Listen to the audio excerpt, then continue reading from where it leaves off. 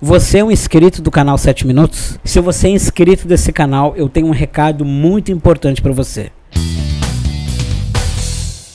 Olá família, sejam todos bem-vindos. Eu quero falar uma coisa aqui muito importante para você que é inscrito do canal 7 Minutos. Mas antes de falar, eu queria contar com o teu apoio aqui, mano. Deixa aquele like no vídeo, porque quando você deixa o like aqui, o YouTube entende que você gostou do vídeo e recomenda para mais pessoas. Deixa aquele like aí, conto com você. O 7 Minutos, há dias atrás, lançou finalmente o seu mangá. E esse mangá era um sonho do Lucas RT. Eles estavam trabalhando nesse mangá desde 2019. Imagine só, 2019 2019, 2020 e 2021. Olha quanto tempo para trabalhar nesse mangá. Um gasto financeiro muito alto para poder bancar profissionais de excelente qualidade para fazer um mangá top para todos vocês. E eu li o mangá, eu até fiz um vídeo lendo o mangá. Eu vou colocar o vídeo aqui na descrição. Eu achei um mangá incrível. Eu fiquei muito feliz pelos 7 minutos realizar esse desejo deles, porque é muito bom quando um youtuber avança as barreiras e anda para novos horizontes. Isso eu acho muito legal. Mas tem uma coisa que me deixou triste como fã. Eu tô falando aqui como fã nisso tudo. O 7 minutos costuma ter 1 milhão, 3 milhões, 4 milhões, 5 milhões, 10 milhões nos raps dele. Mas eu tava aqui no vídeo e olha quantas visualizações eles tiveram no vídeo anunciando seu mangá. Enquanto eu gravo esse vídeo, teve 631 mil views. E quantas pessoas leram o mangá? 411 mil views. Claro, esse número aqui é o número inicial. Eu acredito que esse vídeo aqui futuramente vai bater 1 milhão, 2 milhões eu acredito também que esse número de pessoas que leram esse mangá futuramente vai ser um milhão, um milhão e meio, dois milhões para mais. Mas eu faço esse vídeo aqui porque eu fiquei um pouco triste com o público. Eu quero que vocês entendam uma coisa. Eu tô falando aqui de fã para fã, tá bom? Entenda isso, ok? Infelizmente aqui no Brasil nós nunca tivemos um anime. Você já parou para pensar nisso? Todos os animes que a gente assiste não são do Brasil. Nós nunca tivemos um jogo top feito aqui no Brasil, totalmente feito. Nunca tivemos. Nós nunca tivemos um console nosso aqui do Brasil. Nós nunca tivemos um herói. Sabe aqueles heróis que a gente assiste da Marvel, da DC? A gente nunca teve um herói brasileiro. A gente, infelizmente, nunca teve isso. Sabe por quê? Pela falta de apoio do público. Como o público não tem interesse em consumir os produtos brasileiros, as produtoras acabam não se motivando em fazer um conteúdo brasileiro. E eu quero chamar a tua atenção aqui nesse vídeo. Gente, os caras acabaram de lançar um mangá mangá brasileiro, você tem ideia? Um mangá brasileiro. Imagina só se o Game Over Squad um dia se torne um anime. Eu acredito que isso possa acontecer, mas isso só vai acontecer se você assistir o mangá, se você apoiar esse projeto. Imagine tantas pessoas talentosas aqui no Brasil não conseguiram colocar em prática o seu projeto por conta do apoio do público. E quando eu digo apoio do público, eu não estou dizendo eu apoio, eu apoio. Não, quando eu digo apoio do do público, eu estou dizendo consumir o conteúdo. Então eu quero pedir para você, leiam o mangá. O mangá ficou top demais. O mangá está disponível de graça. Tem noção disso? De graça. Vamos apoiar. Se o seu youtuber favorito fez um game para jogos mobile, baixe, consuma.